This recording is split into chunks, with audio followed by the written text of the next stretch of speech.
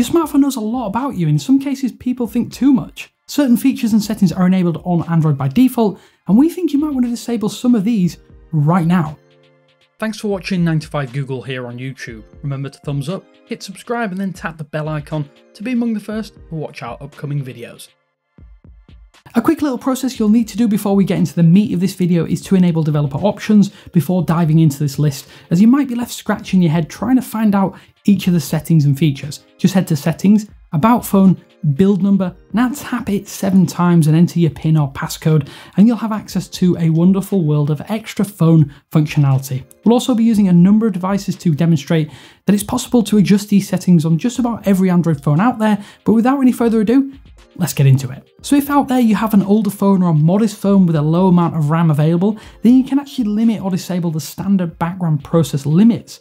This might not make an immediate difference to your day-to-day -day experience, on day one that is, but further down the line limiting just how many concurrent background apps are held in stasis at any point in time could prove useful. To enable this just head to settings, developer options, and background process limit. From here, you can set the process limit between 0 and 4, although if you leave this enabled, this will be at the default. This means you can play around to find the right setting for you and your device.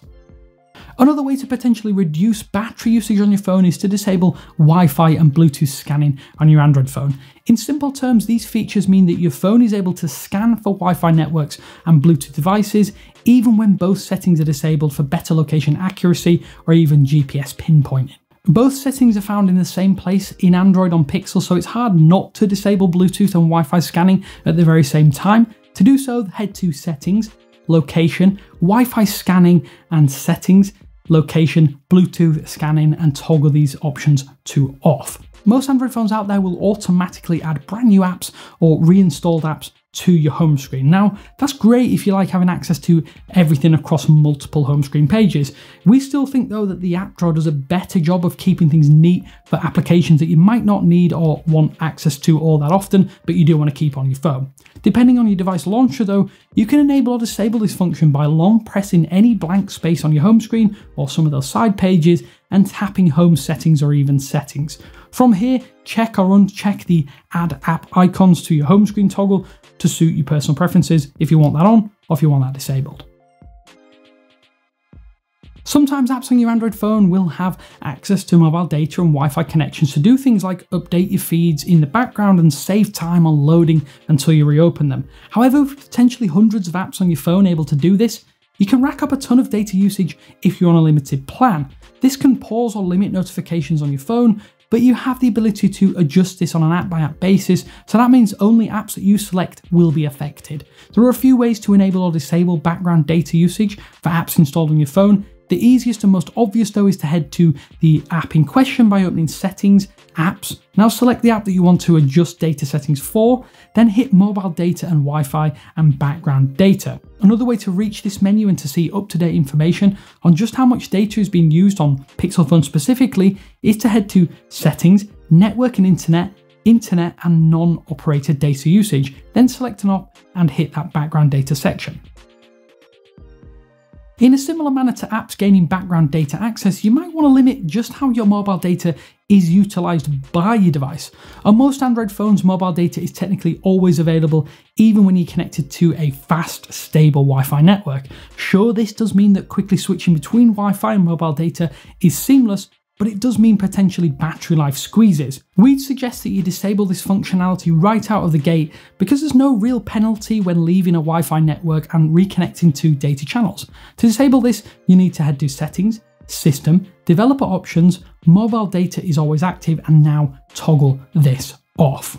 When you're out and about, you also might get notifications on your phone to alert you that an open or public Wi-Fi network is available. In most cases, this might get a bit annoying if you're in a congested area or if you have no intention of connecting to public or unsecured networks. While it can be useful, you have the option to disable this functionality at any time. If you have a low data allowance, we would suggest keeping it active, but for everyone else, you can disable this by heading to Settings, Network and Internet or Wi-Fi, Network Preferences, notify for public networks and enable or disable this as you see fit. This might be hidden under an advanced section on some Android devices out there though. In a bid to help improve the Android OS, you might not realise that certain diagnostics and usage information is shared with Google when you encounter issues, app crashes or even slowdowns.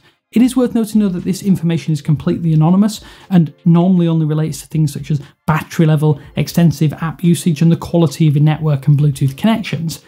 Because of that, though, it's fair for you to want to disable these added settings on your Android, as there are plenty of other people to provide that information across the globe.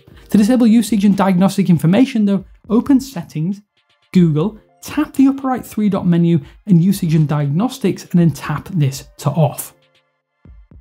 Whether or not you're signed into your Google phone with your Google account, you'll get search or banner ads across some 2 million plus websites that do use Google's ad platforms. These ads get tailored to your interests and even your commonly used search terms in attempt to make those ads more relevant to you.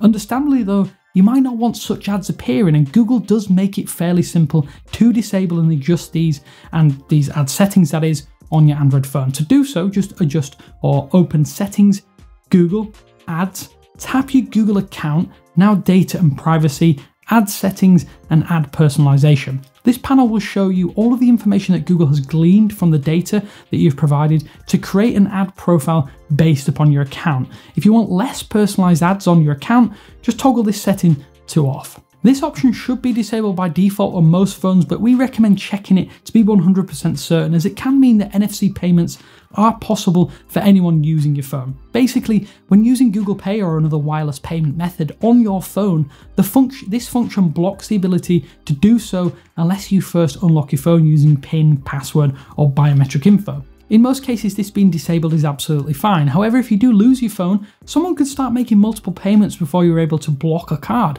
or your bank account.